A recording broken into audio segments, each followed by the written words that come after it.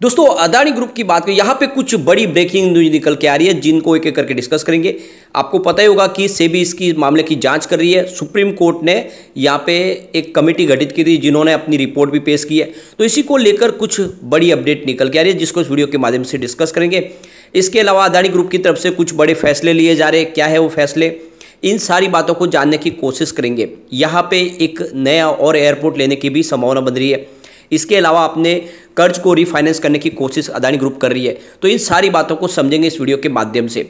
लेकिन फ्रेंड उससे पहले, अगर आप पहली बार हमारे चैनल पे आए तो चैनल को सब्सक्राइब कर दीजिए। एक बेल आइकॉन दबा दीजिए ताकि जब भी नया वीडियो बने, पहला नोटिफिकेशन आपको मिले वीडियो पसंद आए तो लाइक से ज़रूर कीजिए। चलो फ्रेंड्स वीडियो स्टार्ट करते हैं। मैं हूँ आपका दोस्त एस बी दवे और हमारे अपने चैनल ऑनलाइन कमाई में आपका बहुत बहुत स्वागत है। आज अदानी ग्रुप के 10 में से छह शेयरों में गिरावट दिख रही है। सिर्फ़ चार स्टॉक है जिसमें तेज़ी देखने को मिल रही है। इसके पीछे वजह बाज़ार में भी गिरावट, ऊपर के लेवल से बाज़ार काफ़ी ज़्यादा दबाव में दिखाई दे रहा है। अब यहाँ पे अदानी इंटरप्राइजेस लिमिटेड की बात करें स्टॉक में आप देख सकते हो कि पॉइंट थ्री फाइव परसेंट की तेज़ी बनी हुई है। Stock two thousand four hundred nine के आसपास ट्रेड करता हुआ दिखाई दे रहा है। अगर हम बात करें अदानी ग्रीन एनर्जी लिमिटेड की तो यहाँ पर स्टॉक के अंदर point zero nine four percent की गिरावट है और 959 के आसपास स्टॉक इस समय ट्रेड कर रहा है। यानी एक तरह से देख सकते हो फ्लैट ट्रेडिंग चल रही है। कल की क्लोजिंग 960 के आसपास थी। अदानी ट्रांसमिशन की बात करें, स्टॉक में पॉइंट फाइव सिक्स परसेंट की तेज़ी, यानी लगभग आधा परसेंट की तेज़ी है। आठ सौ ग्यारह के आसपास स्टॉक इस समय ट्रेड करता हुआ आपको दिखाई देगा।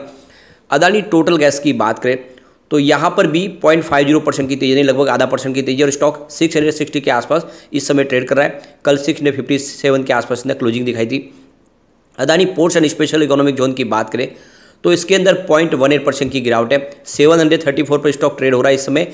मामूली सी गिरावट दिखी है। अदानी पावर की अगर हम बात करें तो यहाँ पे पॉइंट थ्री सिक्स परसेंट की गिरावट है। टू हंड्रेड सिक्सटी टू के आसपास स्टॉक इसमें आपको ट्रेड करता हुआ दिखाई देगा। अदानी विल्मा लिमिटेड की बात करें, यहाँ पर भी पॉइंट फाइव परसेंट की गिरावट है, लगभग आधा परसेंट की गिरावट है। चार सौ सत्रह के आसपास समय स्टॉक ट्रेड कर रहा है। कल की क्लोजिंग चार सौ उन्नीस की थी।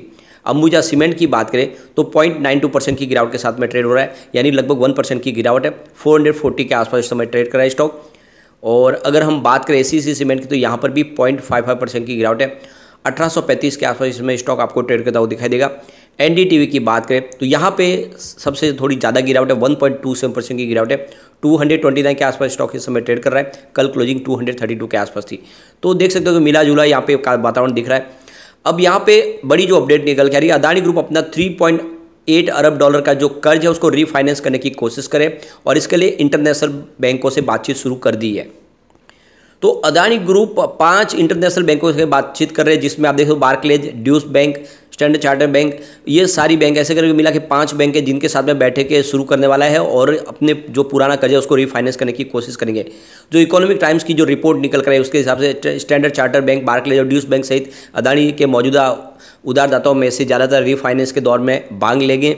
समूह ने इस लोन को सिंडिकेट करने के लिए, उधारदाताओं के संघ का विस्तार करने के लिए दो ताइवानी बैंकों और एक मलेशियाई जो मलेशिया की बैंक है, उनके साथ में चर्चा शुरू कर दी है और जिसके लिए भुगतान की अवधि को तीन साल तक की बढ़ाने की भी संभावना है। अभी लैंडर के साथ में मीटिंग चल रही है। ग्रुप जुलाई के मध्य में कंसोर्टियम के साथ लोन एग्रीमेंट करने का लक्ष्य रखा रहा है और जो अभी फ़िलहाल ईटी के मेल का कोई जवाब दिया नहीं गया है।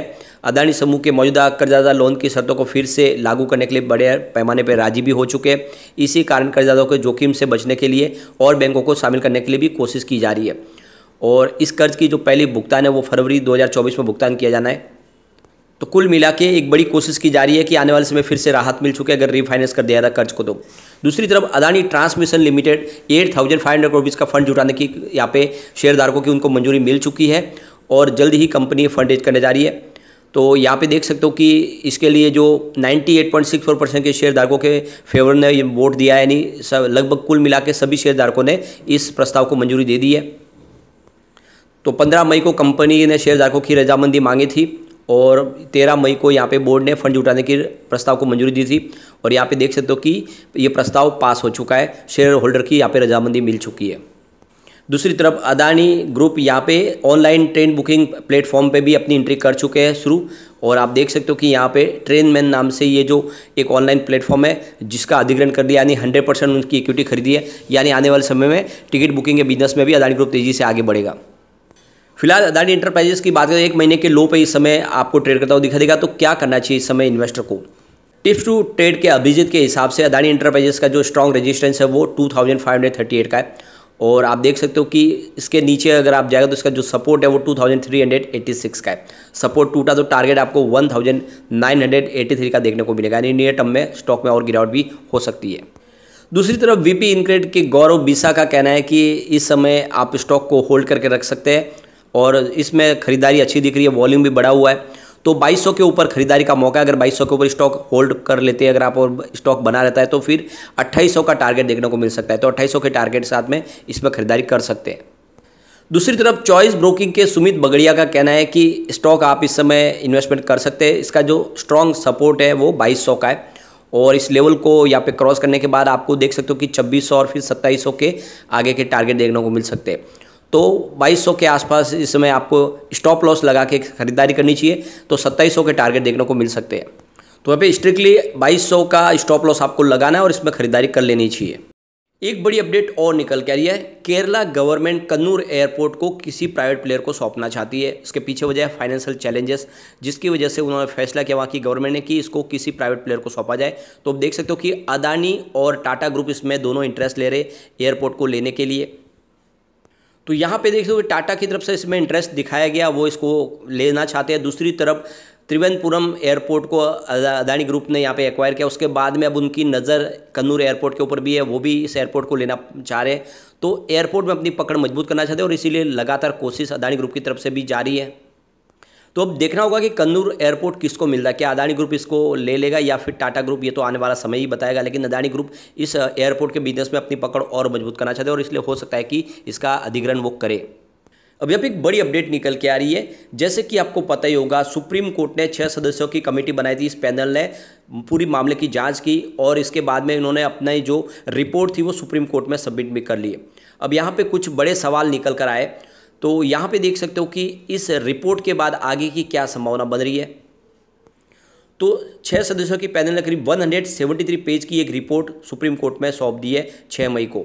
और उनके हिसाब से इस रिपोर्ट में एक तरह से क्लीन चिट दी गई है अदानी ग्रुप को। उनके हिसाब से किसी प्रकार के कोई रेगुलेटरी फेलियर नहीं हुआ है यानी जो भी है नियमों के तहत ही अदानी ग्रुप ने काम किया है। लेकिन यहाँ पे कुछ सवाल छोड़े गए जैसे कि आ, कुछ जाँच है कुछ ऐसी कंपनियों की जाँच है उसको सेबी को सौंपा गया कि सेबी इसकी जाँच करेगी ये ट्रांजेक्शन हुए क्या गलत तरीके से हुए या तो एक तरह से अब जो बॉल है वो सेबी के पाले में है। और अब सेबी उसकी जाँच कर रही है। तीन महीने का उनको समय दिया गया है जिसमें लगभग समझ सकते हो कि डेढ़ से दो महीने तो निकल चुके हैं। महीने भर के अंदर ही से भी अब उसकी जाँच उनको सौंपनी होगी। तो सेबी की तरफ़ से जो जाँच निकल कर उसमें तेरह ऐसी सस्पेक्टेड जो ओवरसीज इंडिटीज़ की जो यहाँ पे आप देखें तो जो डील हुई है, जो ट्रांजेक्शन जिसके ऊपर उनको कुछ डाउट है, जो मॉरिशस से संबंधित है। अब यहाँ पे देख सकते हो कि ये जो नाम निकल के है तेरह ओवरसीज इसमें ये जो लिस्ट हमारे सामने है तो जो पहली कंपनी है एलेरा इंडिया अपॉर्चुनिटी फंड ये मॉरिशस की कंपनी है। राजेंद्र भट्ट, देख सकते हो कि इसके ओनर बता रहे हैं और ये यूके में अब देखो लिस्ट है। इसके अलावा देखें तो Vespera fund limited Mauritius based company है। राजेंद्र भट्ट है, इसके भी ओनर और यूके बेस यहाँ पे बताई जा रही है। इसकी नेशनलिटी यूके की बताई जा रही है। अब इसके अलावा Marshall global capital fund limited Mauritius based company है। और देख सकते हो कि नूनी वेंकटा रामन्ना मूर्ति, जो सिंगापुर है, उनकी नेशनलिटी इसके अलावा देखो तो इमर्जिंग इंडिया फो, आ, फोकस फंड मॉरिशस बेस ये भी कंपनी दिखाई जा रही है। और देख सकते हो कि Trident trust company limited Jimmy and Seton इसका नाम है और ये मॉरिशस बेस आप देखते हो को कंपनी के जो ओनर का नाम बताया जाए उनकी नेशनलिटी है। इसके अलावा देखें तो इमी रिजर्जेंट फंड है, मॉरिशस का, ये ट्राइडेंट ट्रस्ट कंपनी के द्वारा ही ये भी संचालित है, मॉरिशस बेस है। इसके अलावा Cresta fund limited, Mauritius based company है। मार्क डेंगल इसके ओनर बताए जा रहे स्विट्जरलैंड की नेशनलिटी है। इसके अलावा अबूला फंड लिमिटेड, मॉरिशस बेस है। अन्ना लूजिया वन से यहाँ पे दिखाई दे रहा है इसके ओनर का नाम। और ये भी स्विट्जरलैंड इसकी नेशनलिटी दिखाई दे रही है। इसके अलावा देख सकते हो कि एपीएमएस फंड है, मॉरिशस की कंपनी। और यहाँ पे देख सकते हो कि ओनर यहाँ पे एलेस्टेन गूगल बुड दिखाई दे रहे हैं स्विट्जरलैंड की कंपनी है। इसके अलावा LTS investment fund Mauritius base यहाँ पे ये जो फंड हाउस है, जिसमें आप देख सकते हो कि ये भी एलेस्टेयर गूगल भूल की बता रहे हैं स्विट्जरलैंड का कंपनी है। इसके अलावा Asia investment corporation limited Mauritius based company है। और यहाँ पे देख सकते हो कि एलेस्टेयर गूगन बुल की ही ये भी कंपनी है स्विट्जरलैंड ये जो स्विट्जरलैंड के, इनकी नेशनलिटी है। इसके अलावा पोल्स ग्लोबल फंड है मॉरिशस का। ओनर यजदो लोटून है मॉरिशस के। इसके अलावा देख सकते हो कि न्यू लेजिना इन्वेस्टमेंट और ये साइप्रस बेसिस है और ये देख सकते हो इनके जो ऑनर की बात करें, यहाँ पे जैन स्किलिंग मर्जेड लिस है और आप देख सकते हो कि ये नीदरलैंड से है।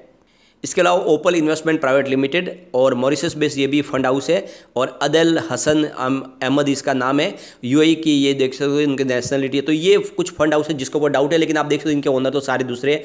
तो आने वाले समझना होगा कि क्या ये पूरा मामला निकल के आता है, इसकी जाँच जल्दी ही हो जाएगी, से भी इन सारी की सारी फंड हाउस की जाँच कर रही है। यहाँ पे जो सबसे बड़ा सवाल उठा है क्या है, ये शेयरों की प्राइस को मैनुपुलेट किया गया है इन कंपनियों के माध्यम से निवेश करके। तो यहाँ पे अगर आप देखें तो इनकी जो प्राइस थी अदानी इंटरप्राइजेस की बात करें तो ये देख सकते हो कि ये 2021 में देखें तो जनवरी में यहाँ पे इनकी प्राइस 491 के आसपास थी, जो देख सकते हो कि इंडबा की रिपोर्ट आने के पहले 4190 तक चला गया था।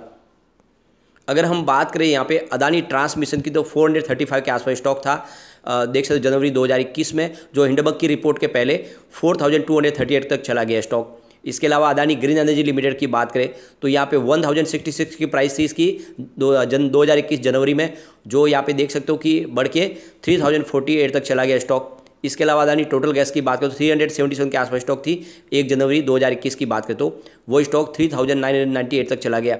इसके अलावा अदानी पावर की बात करें तो फिफ्टी रुपीज़ के आसपास स्टॉक था जनवरी 2021 में, जो फोर हंड्रेड थर्टी थ्री तक चला गया। तो ये बातें हैं कि जिस तरह से स्टॉक में एक ज़बरदस्त तेज़ी बढ़ी इससे ही डाउट क्रिएट हो रहा था और इसी की यहाँ पे जाँच हो रही है और जल्दी इसका फैसला हो जाएगा। और से भी अपनी अंतिम पड़ाव में तो जल्दी इसके ऊपर हमें खबर मिल जाएगी तो अभी उसका वेट करना होगा। लेकिन फ्रेंड कोई भी इन्वेस्टमेंट करने से पहले अपने फाइनेंशियल एडवाइजर से बड़े ले ले या अपना खुद का रिसर्च करें, क्योंकि मैंने वीडियो आपके एजुकेशनल पर्पज़ के लिए ही बनाया वीडियो पसंद आए तो लाइक से जो कीजिए और चैनल को सब्सक्राइब कर दीजिए। Thank you friend